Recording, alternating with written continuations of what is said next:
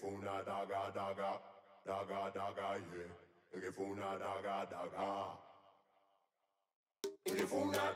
Humans have communicated for hundreds of thousands of years. And so we take it for granted that communication is pretty easy. But the reality is that we're highly dependent on how technology handles speech.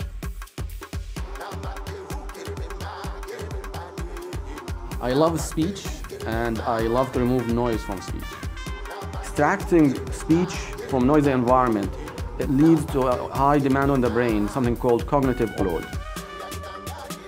Everybody's time gets wasted by even just one source of noise.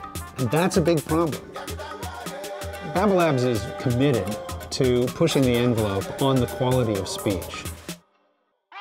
We're focused on the conference call, the video conference, on the smartphone, on media servers in the cloud, on speech recognition, specifically small command set recognition in IoT devices.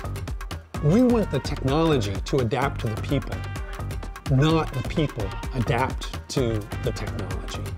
We can handle the crying baby, the barking dog, the typing at the keyboard, the background noise in the cafe and the car. We make it go away. Speech conveys mood, desire, interest. These are extremely important.